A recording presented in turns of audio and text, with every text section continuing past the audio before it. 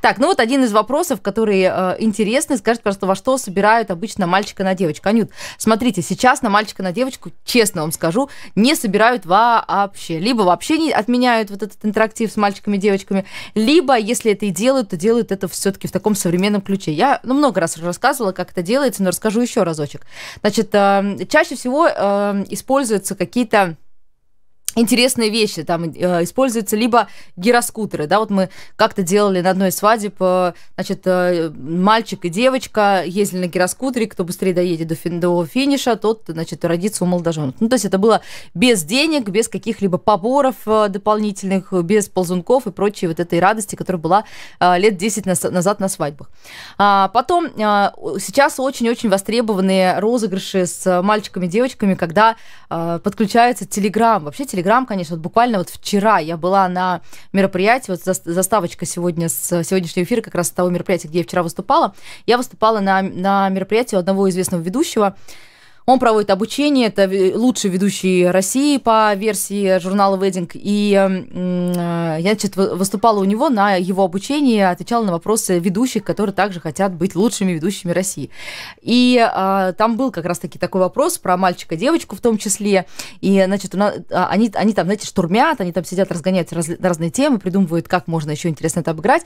И вот э, мне один из ведущих, как раз, ну, вот основной ведущий, рассказал, что, говорит, сейчас очень так как много действительно ребят, которые пользуются Телеграмом, очень много кто э, знает э, особенности Телеграм-каналов, да, ну, Телеграма, да, потому что Телеграм на самом деле э, сейчас задействуется только на 5%, там, там возможности, конечно, не ограничены. И он рассказал, что один из женихов однажды сделал такую игру в Телеграме, где, где значит, у каждого человека, вот они заходят в этот э, посылочки, да, в этот там чат-бот какой-то, и у каждого человека на экране, прям вот в окошке Телеграма появляются две такие кнопочки, розовая и синяя, да, если э, человек хочет, чтобы победила девочка, он нажимает на розовую кнопочку, соответственно, если хочет, чтобы мальчик, нажимает на синюю кнопочку, и подводится какой-то итог там, предварительный, потом э, окончательный, и уже понятно, кто родится, там, мальчик или девочка, да. То есть есть классные штуки, как это можно обыграть. То есть если хочется действительно такую вещь сделать, то э, предлагаю отказаться все-таки от каких-то банальных таких, таких вещей с собиранием денег, с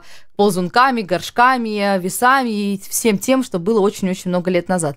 А прийти действительно к чему-то современному, потому что современно, ну, это будет просто интересно посмотреть и вам, и спустя 10 лет это тоже будет интересно. Ну, хотя спустя 10 лет, конечно, появится еще что-то новенькое, но тем не менее. А если не говорить про, опять же, про Телеграм, еще что-то, частенько тоже используются различные компьютерные игры, когда выходит э, либо мальчик, девушка и парень, да, выходит на центральную площадку и участвуют э, в игре, и там идет, идет какая-то борьба, какие-то сражения. И кто побеждает в этой компьютерной игре, тот и родится первый мальчик девочка. А, частенько бывает такое, что не используется вообще никак интерактивная часть, а используется просто люди, да, когда а, проводится тайное голосование, это когда человек а, в течение вечера скидывает записочки, что мне бы хотелось, что родился первый тот-то или тот-то, и потом подводится реальный результат, кто родится. Ну, то есть вариаций, как это можно сделать, достаточно много, но для того, чтобы сделать это классно, прикольно, круто, конечно, нужно, чтобы был классный ведущий. Это прям очень важно, это прям залог успеха.